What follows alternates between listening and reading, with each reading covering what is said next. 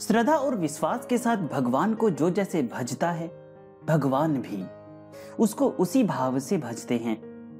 सीता और राधा के जो प्राणधार पति थे कौशल्या और यशोदा के जो लाडले लाल थे, सुग्रीव और अर्जुन के जो सखा थे, रावण और शिशुपाल के जो शत्रु थे, वे ही भगवान।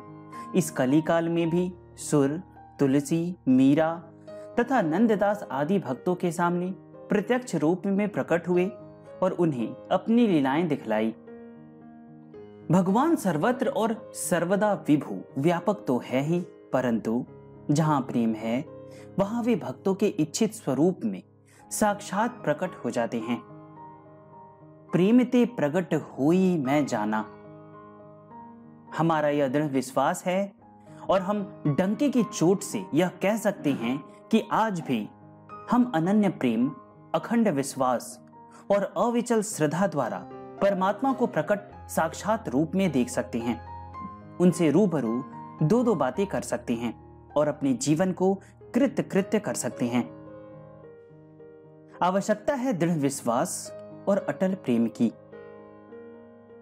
आज हम अपने पाठकों को एक ऐसी ही भक्तिमती देवी का दिव्य चरित्र सुनाते हैं, जिसने प्रभु को पति के रूप में भजा और जिसे हरि ने अपनी पत्नी के रूप में अंगीकार कर लिया। प्राचीन काल में, दक्षिण भारत में, कावेरी तट पर स्थित एक गाँव में, विष्णु चित्त नामक एक परम वैष्णव भक्त रहते थे। वे बड़े ही आस्तिक और धर्मिष्ठ पुरुष थे। वे हमेशा भगवान के भजन, हरि कीर्तन और नाम जप में निरत रहते। उन्हें भगवान के सिवा और कुछ सुहाता ही न था। बड़ा ही रम्य उनका एक तुलसी का बाग था। वे नित्य प्रातःकाल तुलसी के थाल में जल ढालते और तुलसी दल की ही माला बनाकर भगवान का श्रृंगार करते। एक समय प्रातःकाल जब वे घड़े में जल भरकर आलवाल में ढाकने गए कि वहाँ उन्हें एक परम मनोहर शिशु कन्या दिखलाई दी। भक्तों का हृदय सहज स्नेहमय और दयापूर्ण होता है। उस छोटी लड़की को देखकर उनका हृदय स्नेह से भर आया और वे उसे उठाकर घर ले आए।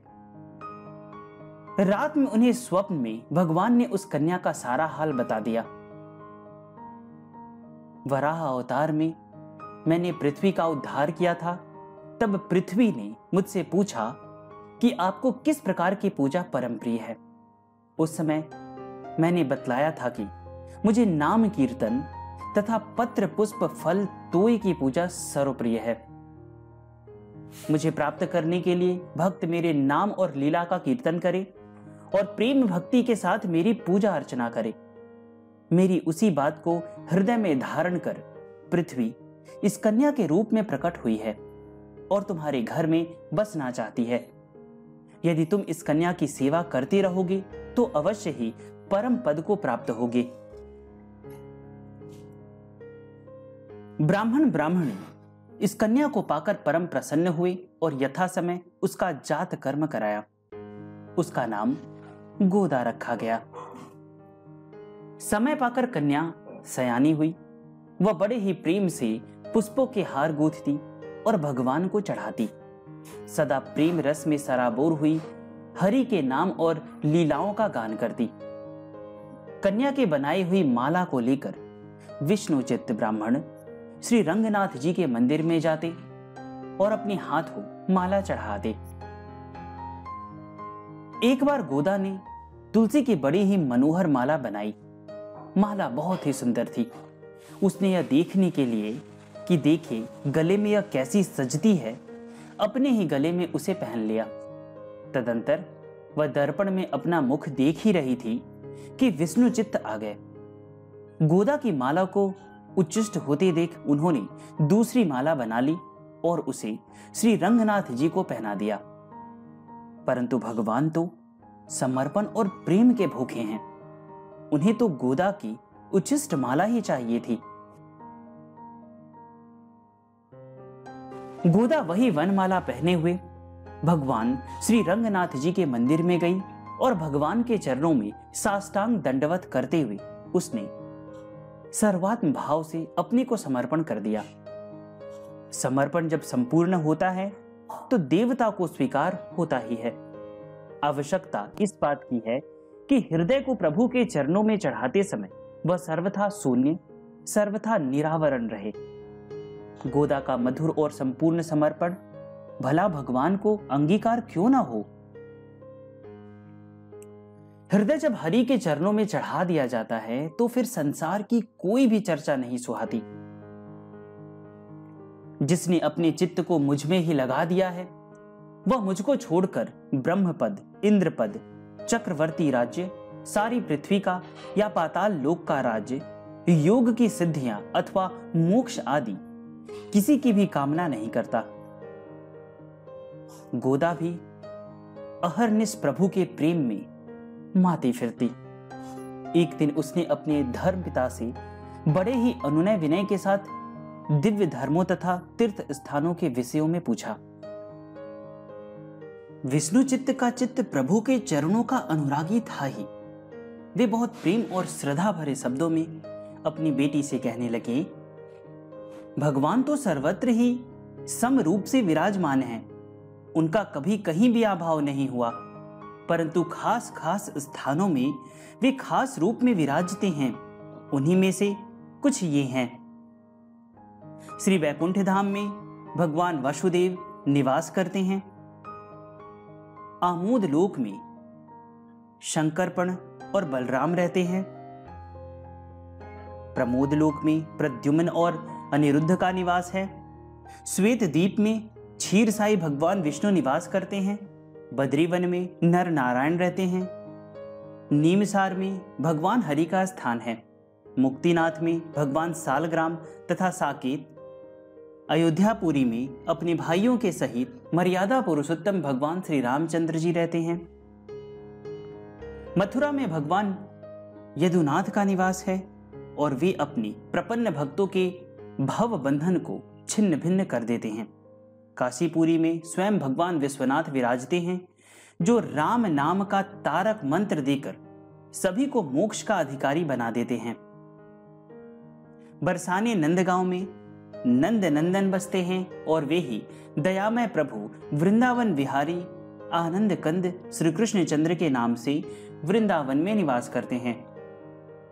कालीदह में गोविंद का निवास है और उन्हें ही गोवर्धन धारी गिरिधर लाल कहते हैं। हरिद्वार में भगवान यदुपति और प्रयाग में भगवान वेणी माधव हैं। गया में गदाधर और गंगा सागर में कपिल मुनि का वास है। चित्रकूट में जगजननी सीता और लक्ष्मण के साथ महाराज श्री रामचंद्र जी निवास करते हैं। पंडरपुर में श्री विठल स्वामी हैं और दक्षिण में कावेरी के तट पर भगवान श्री रंगनाथ का वास है। भगवान श्री रंगनाथ का नाम सुनते ही गोदा को रोमांच हो आया और उसकी आँखों से प्रेमाश्रुओं की धारा टूट पड़ी। उसने विहल होकर अपने इष्ट देव के संबंध में अधिक जानने की इच्छा प्रकट की।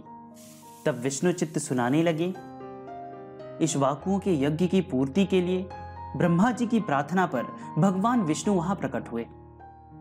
भगवान का साक्षात्कार हो जाने पर ईश्वाकु कृतार्थ हो गए। और ब्रह्मा की आज्ञा से वे सरयू के तट पर अयोध्या में तपस्या करने लगे। तपस्या से प्रसन्न होकर ब्रह्मा ने इश्वाकु से वर मांगने के लिए कहा।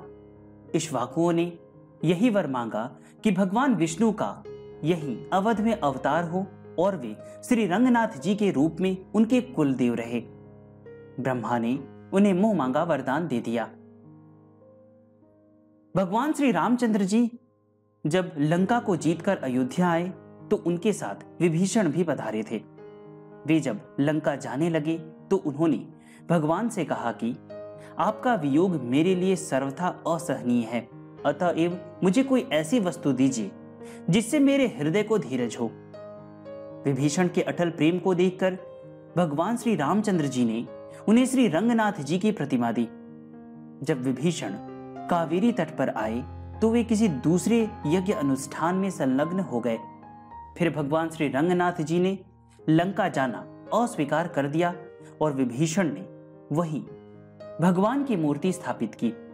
विभीषण भगवान की पूजा अर्चना के लिए नित्य लंका से यहाँ आया करते थे। भगवान श्री रंगनाथ का वर्णन सुनकर गोदा की उत्कंठा और भी तीव्र हो गई। उसने पिता से भगवान की प्राप्ति का साधन पूछा अब गोदा के लिए एक क्षण का वियोग भी असहनीय था। अब तो जिस प्रकार हरि मिले, वही बात गोदा को प्रिय थी। उसने मार्ग शीर्ष का व्रत किया। एक रात में वह देखती है कि प्रभु जी स्वप्न में उससे मिलने आए हैं। इस आनंद का क्या कहना? वह उठी और भगवान को अखबार में बांधने चली ही थी कि वह छलिया खिसक गए। उसे तो तरसाने में ही आनंद आता है। यहाँ पे मुझे एक किस्सा याद आता है। जो मीरा माँ थी, वो अपने पूर्व जन्म में ना श्री कृष्ण भगवान की भाभी थी। मतलब श्री कृष्ण भगवान के एक दोस्त थे, उनकी पत्नी थी मीरा माँ उस जन्म में। तो उनका नाम मुझे भी याद नहीं है। क्षमा चाहता हूँ। तो हुआ ये था कि एक बार कृष्ण जब छोटे ही थे तो वो उनको देखना चाहते थे। पहले क्या होता था कि स्त्री जो थी वो घूंघट में होती थी, जनरली शादी हो जाने के बाद। तो वो जब घर आ रही थी तो घूंघट में थी। और कृष्ण भगवान ना बहुत कोशिश कर रहे थे देखने के लिए कि, भाभी मुझे देखने दो, मुझे देखने दो। अपना चेहरा मुझे दिखाओ दिखाओ, देखने दो मुझे। और वो बार बार नहीं दिखा रही थी, छुपा रही थी। उसके बाद एक समय आता है जब भगवान कहते हैं मतलब कृष्ण कहते हैं, वो बहुत परेशान हो जाते हैं, वो अपना चेहरा नहीं दिखाती है। तो कृष्ण कहते हैं ना कि ठीक है, जा। अब तू मुझे देखने के लिए तरसेगी।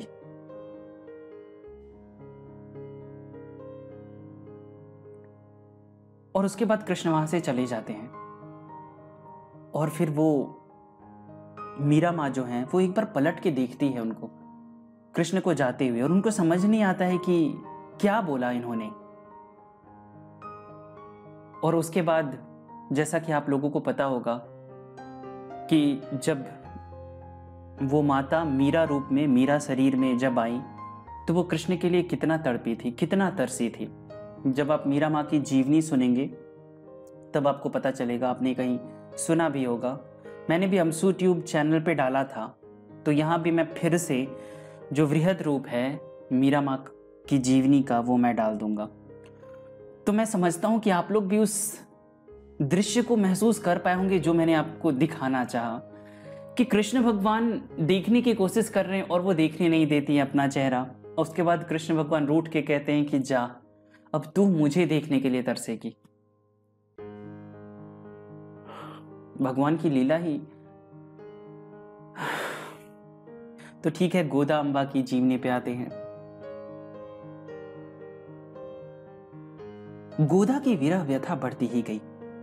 उसके प्राण रात दिन जीवन धन में अटके रहते थे।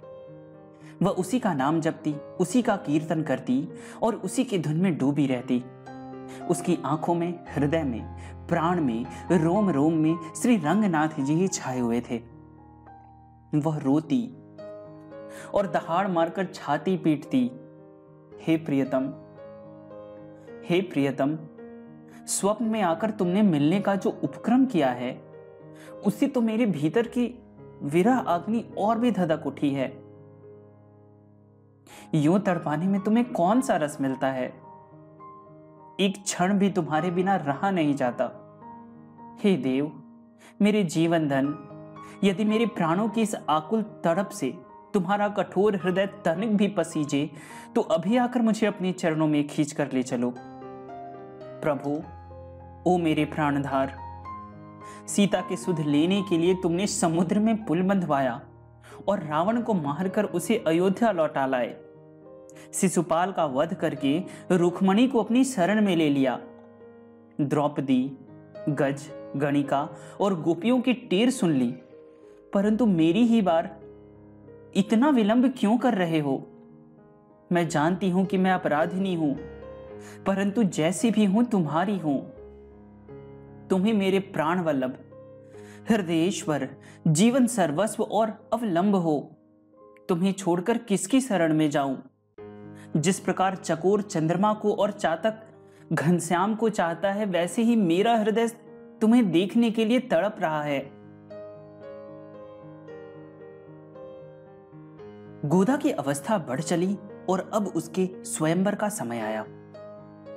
विष्णुचित्त अपनी कन्या को लेकर कुरका नगर गए।